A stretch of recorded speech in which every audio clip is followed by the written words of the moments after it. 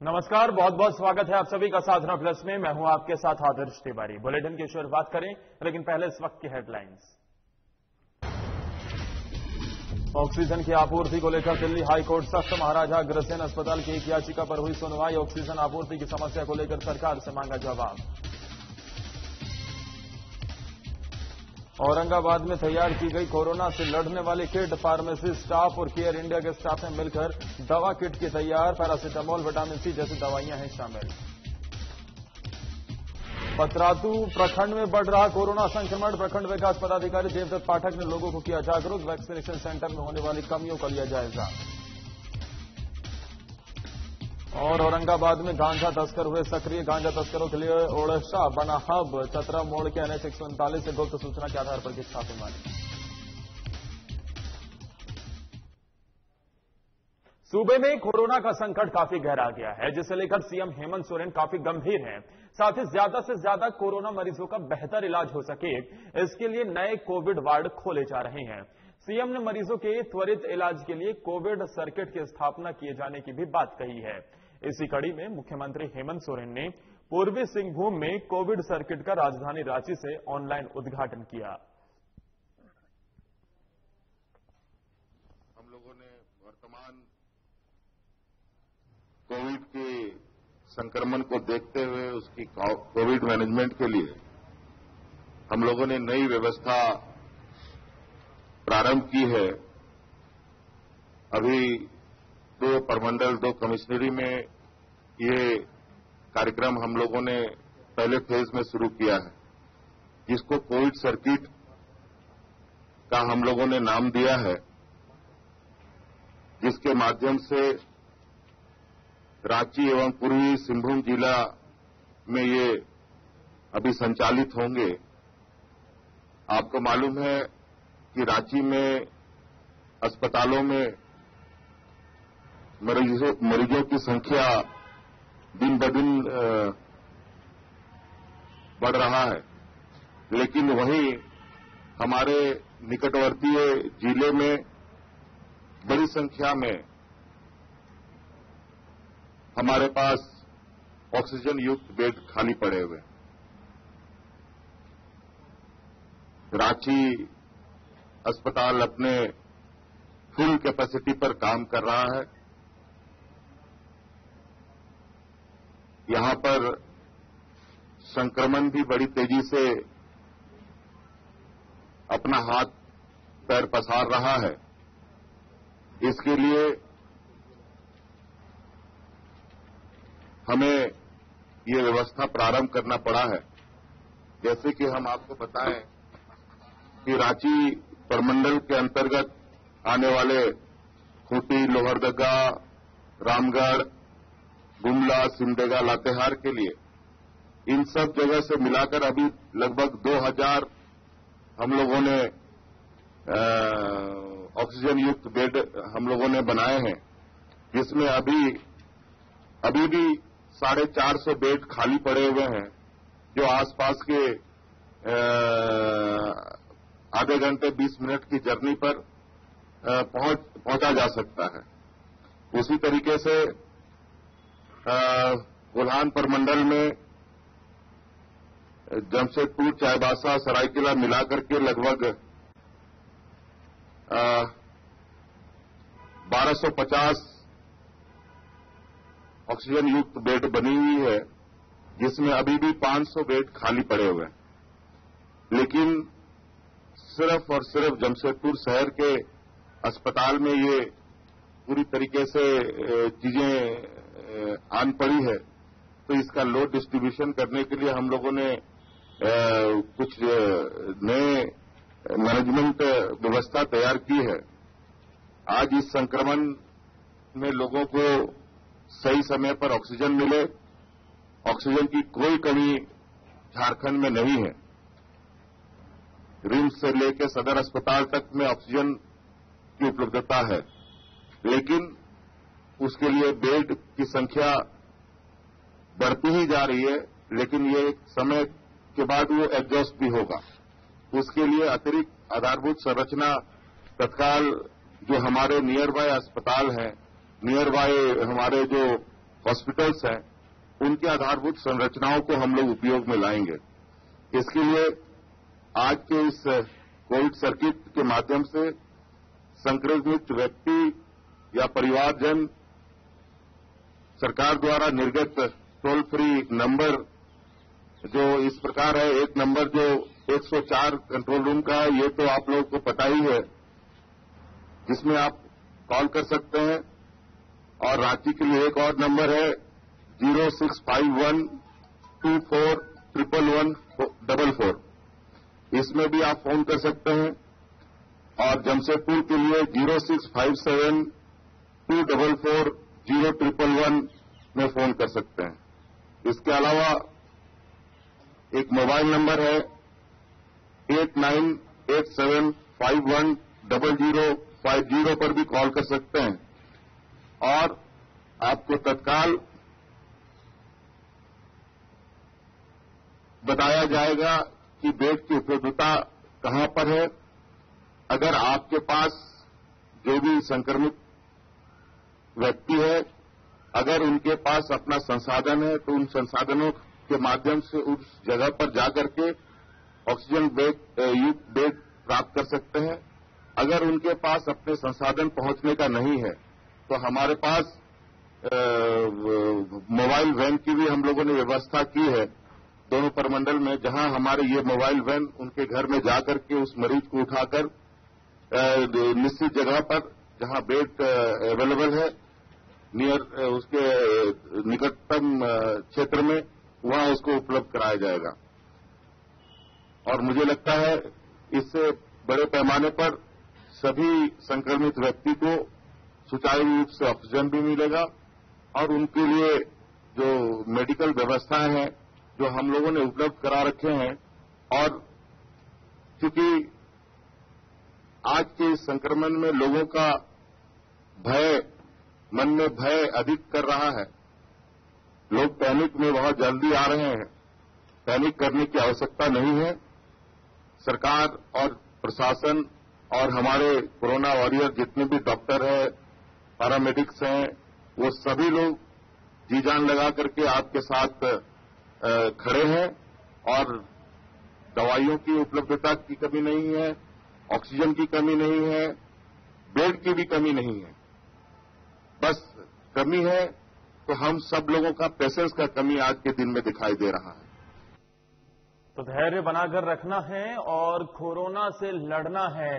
मानसिक ताकत भी बेहद ज़रूरी है, यानी कि आपको दिमाग से भी कमज़ोर नहीं होना है और इस कोरोना की जंग में ज़रूर हम सब एक दिन जीतेंगे। देश में कोरोना संक्रमितों की हो रही मौत ने आम आदमी को झकझोर के रख दिया है। और इसी को लेकर अब दिल्ली हाईकोर्ट भी सोचने पर मजबूर हो गया है। देश के कई राज्यों में कोरोना संक्रमितों की संख्या बेतहाशा बढ़ती ही जा रही है। अब ऐसे में कहीं अस्पतालों में बेड की कमी है तो कहीं ऑक्सीजन की कमी है। वहीं अगर किसी मरीज़ का अस्पताल में दाखिला हो भी जा रहा है तो ऑक्सीजन की कमी से उन्हें मौत से लड़ना पड़ रहा है। ऐसी ज़िंदगी की इस जद्दोजहद में कई लोगों की जान भी चली जा रही है। वहीं ऑक्सीजन की आपूर्ति में आ रही दिक्कत को लेकर दिल्ली हाईकोर्ट ने सख्त टिप्पणी की है। जिसमें कोर्ट ने कहा है कि अगर केंद्र, राज्य या स्थानीय प्रशासन का कोई अधिकारी ऑक्सीजन की आपूर्ति में अड़चन पैदा कर रहा है तो उस व्यक्ति को फांसी की सजा दी जाएगी। आपको बता दें कि यह ये फैसला न्यायमूर्ति विपिन संघी और न्यायमूर्ति रेखा पल्ली की पीठ की ओर से महाराजा अग्रसेन अस्पताल की एक याचिका पर सुनवाई के दौरान की गई है। दरअसल, अस्पताल ने गंभीर रूप से बीमार कोरोना संक्रमित मरीजों के लिए ऑक्सीजन की कमी को लेकर हाई कोर्ट का दरवाज़ा खटखटाया था, जिस पर कोर्ट ने दिल्ली सरकार से कहा कि वो बताएँ कि कौन ऑक्सीजन की आपूर्ति के काम में अड़चन डाल रहा है। वहीं इस पर सुनवाई करते हुए दिल्ली हाई कोर्ट ने फांसी की सजा का प्रावधान जारी कर दिया है।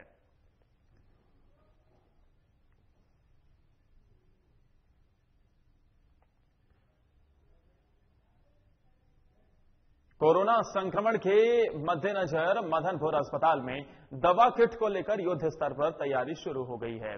बता दें कि औरंगाबाद ज़िले और मदनपुर प्रखंड में बढ़ते कोरोना के मामले को देखते हुए मदनपुर सामुदायिक स्वास्थ्य केंद्र में अस्पताल के फार्मेसी स्टाफ और केयर इंडिया के स्टाफ ने मिलकर दवा किट बनाने की तैयारी को और तेज कर दिया है। केयर इंडिया के प्रखंड प्रबंधक धीरेन्द्र सिंह गर्ग ने कहा है कि जिस प्रकार कोरोना का संक्रमण हमारे प्रखंड में बढ़ रहा है उसको लेकर हमें सजग होने की ज़रूरत है।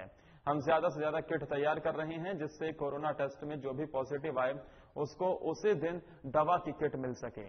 दवा और बचाव ही हमें इस बीमारी से बचा सकते हैं। गौरतलब है कि कोविड मरीज़ को अस्पताल से एक दवा किट दी जा रही है, जिसमें paracetamol, doxycycline, vitamin C, levocetirizine, cetirizine और विटामिन बी ट्वेल्व शामिल है।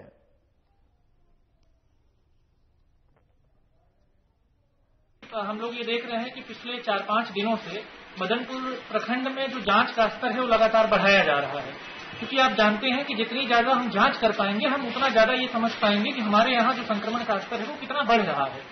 तो उसको देखते हुए हमारे अस्पताल, जो अस्पताल के कर्मचारी हैं, खासकर जो फार्मेसी के लोग हैं, उन लोगों ने ये डिसाइड किया कि हम क्यों ना ऐसा करें कि जब जाँच हो रही है जिस दिन, उस दिन जो पॉजिटिव लोग आए, हम उनको उसी दिन वो किट उपलब्ध करा पाए। इससे फ़ायदा ये होगा कि वो किट वो घर ले जाएँगे, घर में आइसोलेट होंगे और उसी दिन से उनकी दवा शुरू हो पाएगी। और अगर उसी दिन से उनकी मेडिकेशन शुरू होगी तो जो शुरुआती लक्षण है कोरोना के, उसी दिन से लड़ना वो शुरू कर देंगे। और वो चार पाँच दिन जाते जाते वो करीब उनकी, उनका स्वास्थ्य ठीक हो जाएगा। और चलिए रुक रहे हैं, यहाँ पर एक छोटे से ब्रेक के लिए कुछ और खबरों के साथ फ़ौरन हाजिर होते हैं।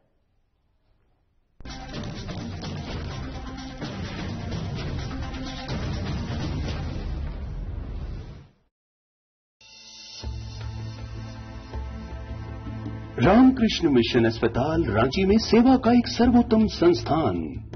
सात दशकों से रामकृष्ण मिशन सेनेटोरियम में सभी बीमारियों का आधुनिक पद्धति से सस्ते दर पर इलाज। अस्पताल में अनुभवी डॉक्टर और कुशल नर्सें रखेंगी आपका विशेष ख्याल।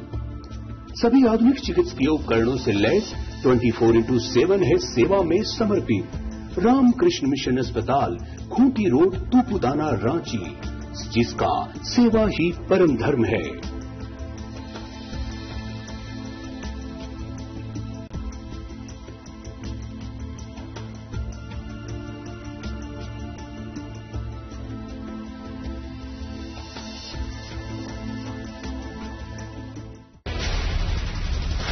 बिहार झारखंड के साथ देश दुनिया की हर बड़ी खबर। देखिए फटाफट अंदाज में शाम साढ़े सात बजे। खबरें सुपर फास्ट सिर्फ़ साधना प्लस पर।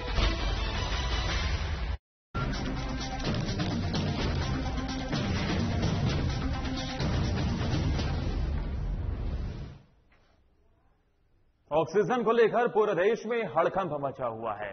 वहीं ऐसा कोई शहर नहीं जहाँ ऑक्सीजन को लेकर समस्या न हुई हो। वहीं ऑक्सीजन की कमी को लेकर हजारीबाग के डेमोटांड इंडस्ट्रियल एरिया में ऑक्सीजन प्लांट में ऑक्सीजन का उत्पादन शुरू कर दिया गया है। साथ ही उम्मीद जताई जा रही है कि हजारीबाग में अब ऑक्सीजन की कमी खत्म हो जाएगी। आपको बता दें कि हजारीबाग डेमोठांड के महर्षि हेयर सॉल्यूशन में ऑक्सीजन का उत्पादन शुरू हो चुका है। जहाँ हर दिन 300 से ज़्यादा जंबो सिलेंडर रिफिल किए जाएँगे और अलग अलग अस्पतालों में इसकी सप्लाई की जाएगी, जिसमें मुख्य रूप से हजारीबाग मेडिकल कॉलेज के अलावा कई अस्पतालों में ऑक्सीजन भेजने का काम किया जाएगा, जहाँ कोरोना मरीजों का इलाज हो रहा है। वहीं इस प्लांट के सुपरवाइजर ने जानकारी देते हुए बताया कि जहाँ से भी ऑक्सीजन की मांग की जा रही है, वहाँ ऑक्सीजन की सप्लाई की जा रही है। साथ ही प्लांट के कर्मचारी 24 घंटे ऑक्सीजन रिफिलिंग का काम कर रहे हैं जिससे प्रदेश में ऑक्सीजन की मांग को पूरा किया जा सके।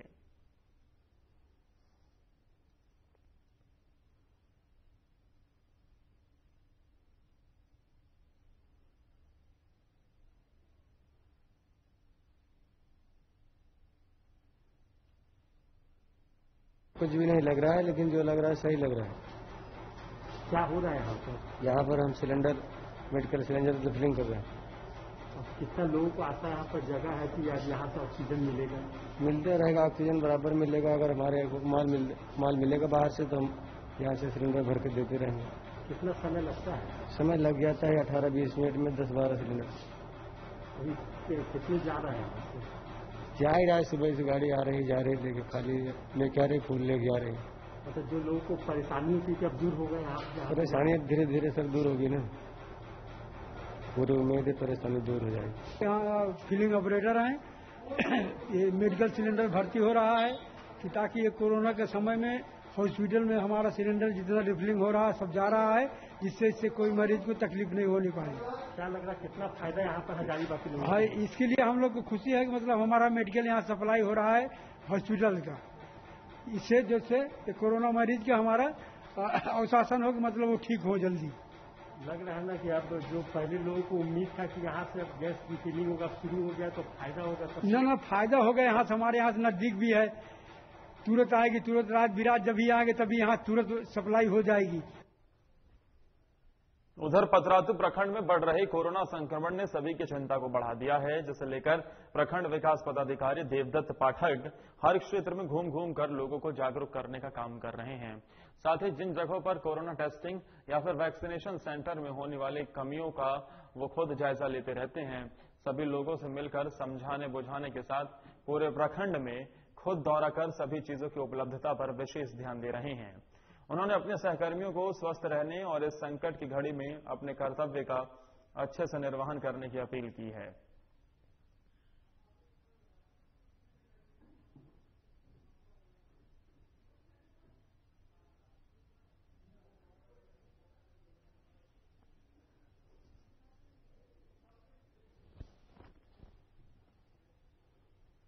सीतामढ़ी के मेजरगंज प्रखंड के डुमरी कला गाँव में शादी समारोह के दौरान कोरोना गाइडलाइन के लोगों ने जमकर धज्जियाँ उड़ाई।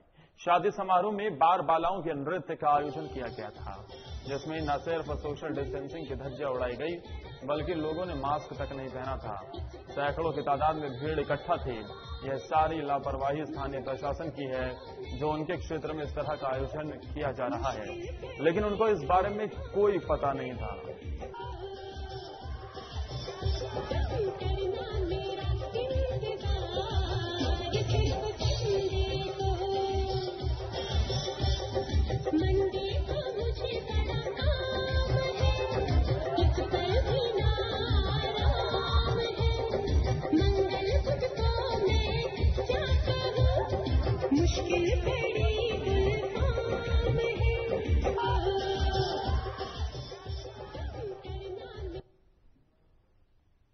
बिहार में हर्ष फायरिंग का मामला थमने का नाम नहीं ले रहा है। ऐसा ही एक मामला इन दिनों सहरसा में सोशल मीडिया पर वायरल हो रहा है, जो ज़िले के महिसी थाना क्षेत्र का बताया जा रहा है, जहाँ जमकर हर्ष फायरिंग की जा रही है। इतना ही नहीं, इस दौरान कई महिलाएँ भी हर्ष फायरिंग करते दिखाई दे रही हैं। वायरल वीडियो में आप देख सकते हैं कि किस प्रकार हर्ष फायरिंग करते हुए डांस और मस्ती की जा रही है। ऐसे में किसी बड़ी घटना को, के होने की पूरी संभावना नज़र आ रही है।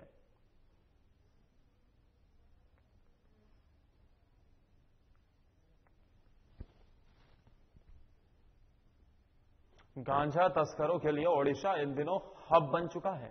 गांजे की अधिकतर खेप वहीं से बिहार पहुँच रही है। प्रदेश के नक्सल प्रभावित इलाकों से इसकी तस्करी होने के कारण इस कारोबार पर रोक नहीं लग पा रही है।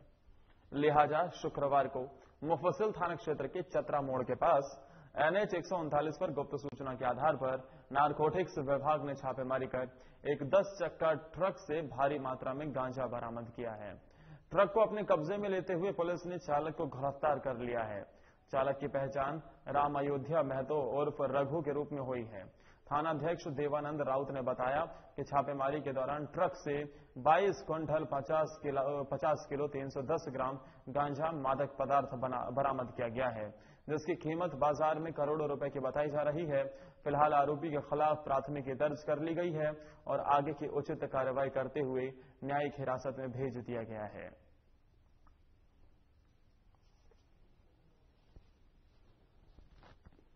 मधेपुरा ज़िले के मुरलीगंज थाना स्थित सेमा मंदिर से चार महीने पहले चोरी हुई अष्ट धातु से निर्मित सेमा महारानी की मूर्ति बरामद कर ली गई है। मूर्ति मंदिर के पीछे एक प्लास्टिक के थैली में रखे मिली। एक महिला घास काटने के लिए मंदिर के पीछे गई। तब उसने देखा और घर वालों को बता, जाकर बताया। तब जिसके बाद मंदिर के सेवकों ने मूर्ति की विधि सम्मत पूजा पाठ की और उसके बाद पुनर्स्थापना में जुट गए। बता दें कि पिछले साल 8 दिसंबर को मूर्ति चोरी हुई थी। जिसके बाद पुलिस ने मामले की गहन छानबीन की, लेकिन कुछ पता नहीं चल सका। और अब जाकर मूर्ति बरामद कर ली गई है।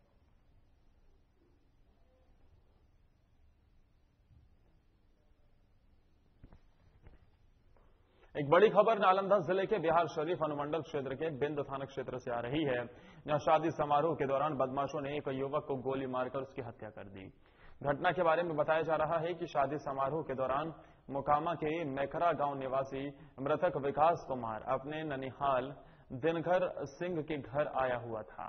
इसी दौरान किसी अज्ञात व्यक्ति ने उसे गोली मारकर उसकी हत्या कर दी और फरार हो गए। इधर घटना की जानकारी मिलते ही पुलिस घटनास्थल पर पहुँची और शव को अपने कब्जे में ले लिया। साथ ही मामले की जाँच में भी जुटी हुई है। फ़िलहाल ये स्पष्ट नहीं हो पाया है कि हत्या किस कारण से की गई है।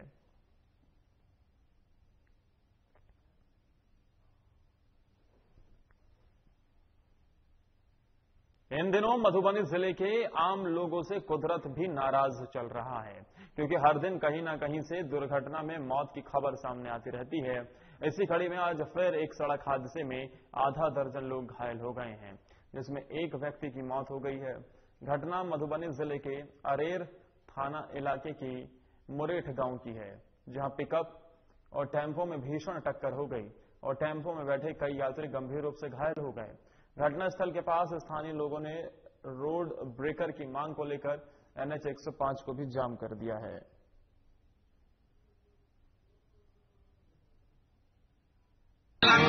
स्थानीय लोगों से पता चला है एक टेंपू, एक मोटरसाइकिल और एक चाय पत्ती का गाड़ी था पिकअप आपस में गिरने के कारण जो दुर्घटना हुई है उसमें कुछ आदमी जख्मी है, विशेष रूप से। जिनको हॉस्पिटल रेफर किया गया। है वो डेट हो गया। एक मर भी गया है एक मर भी गया है तुरंत। उसका बॉडी का उसका बॉडी ले गया उसका दरभंगा में गाड़ी में जाते जाते चेक कर गया एंबुलेंस अच्छा एक बॉडी मतलब एक तुरंत स्पॉट पे डेथ हो गया स्थान पे ही। जमशेदपुर में पानी की समस्या को लेकर बीजेपी बागबेड़ा मंडल के अध्यक्ष संजय सिंह और घाघीडीह मंडल अध्यक्ष संदीप शर्मा के नेतृत्व में पंचायत प्रतिनिधियों ने जिला परिषद के उपाध्यक्ष राजकुमार सिंह से मुलाकात की है। वहीं उन्होंने पानी की समस्या से परेशान होकर प्रशासन से मुलाकात कर और मदद जो नहीं मिल रही है, उसको लेकर भी चर्चा की है। जिसे लेकर उपाध्यक्ष राजकुमार सिंह ने जल्द पानी की वैकल्पिक सुविधाओं को लेकर उपलब्ध कराने का आश्वासन दिया है।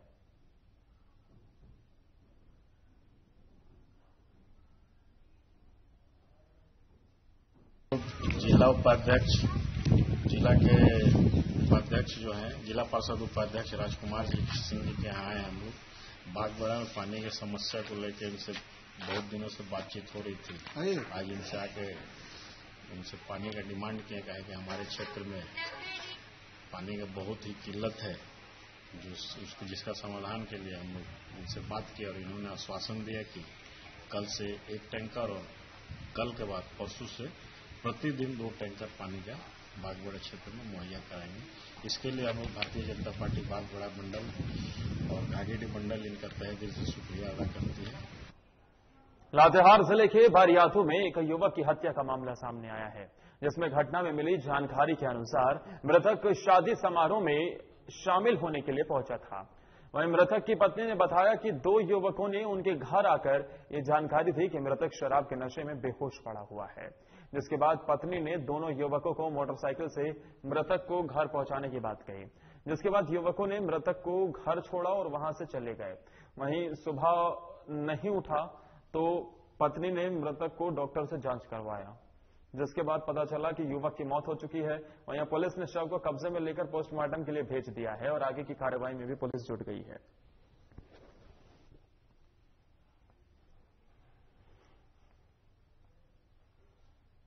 बेगूसराय में नीमा चांदपुरा थाने की पुलिस ने 24 घंटे के अंदर घर से भागे हुए प्रेमी जोड़े को हिरासत में ले लिया है। वहीं गाँव के ही युवक पर यह आरोप है कि उसने गाँव की ही एक नाबालिग लड़की को बहला फुसलाकर शादी करने के लिए लड़की के साथ दबाव बनाया। उसके बाद वो फरार हो गया था। जिस मामले में लड़की के परिजनों ने आरोपी युवक को नाबालिग लड़की को भगाने का मामला दर्ज करवाया था, वहीं मामले के संज्ञान में आते ही पुलिस ने कार्रवाई करते हुए दोनों प्रेमी जोड़े को हिरासत में ले लिया है।